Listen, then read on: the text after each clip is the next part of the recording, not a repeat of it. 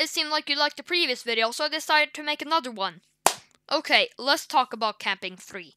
It's been teased for months now, and I have been waiting patiently on Samson XVI's Roblox group for any information at all.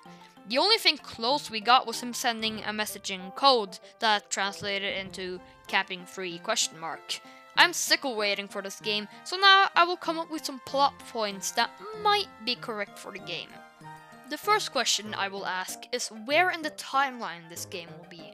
First of all, we have information about the past of Jack, so this game will not be a prequel.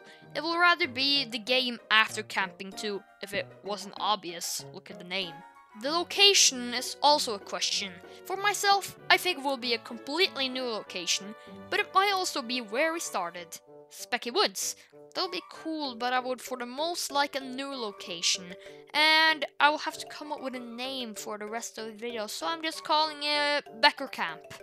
Or if it was at Terror Park and we could get our heroes escape from the hole, that would also be really cool. If the location of Camping 3 is at a new location, there will probably be a new guide.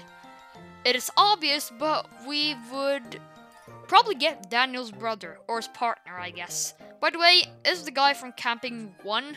Look at this guy. He's pretty cool. Now to the most interesting part of the video. Now I will talk about the villain for the game. Every game had a villain, so there must be one for this one. There are two possible villains, and one is more likely and another just theorizing from me. The most likely is a monster from Hotel. Yup, it's Zack's GF Emma. But I have no idea why other people theorize this. First of all, why would Emma try and kill people? She's in peace with Zack now that they're both dead. Greg is gone to heaven as well, so she doesn't have anything to avenge. Except if the game will take place at Terror Park, she does have something to avenge. Daniel!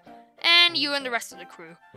That could be a possibility, but doesn't seem that likely. Now, my idea is just theorizing, but I do think this may be what we're looking for. I think that Emma and Jack had a son or a daughter. Then the game would start like this. You and a pair of friends go on a camping trip to Becker Camp for a few nights in the woods. You have with you a guy named David and his brother Daniel. At night, there are two tent areas where Daniel is at one and David is at another.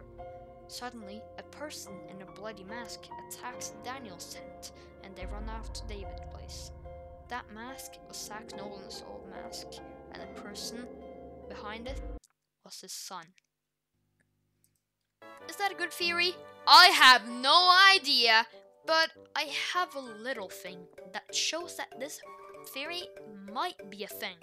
In Mansion, when you arrive, you look at the house, but you see a person in the window. You probably know where this is going. I think that this is Zack Nolan's son, locked up in this room, and then when he finds out that his parents are dead, he wants to avenge them. To take back Zack's persona and kill Daniel. But that's just a theory. Again! Hope you liked the theory, and if you want more these theories, make sure to like the video. But I also want to thank Samson for spending so much time on making all these amazing games. I have loved every single one of them, and I am excited for the next game in the franchise. Or the last. Thanks for everyone for watching, and I'll see you another day. Goodbye.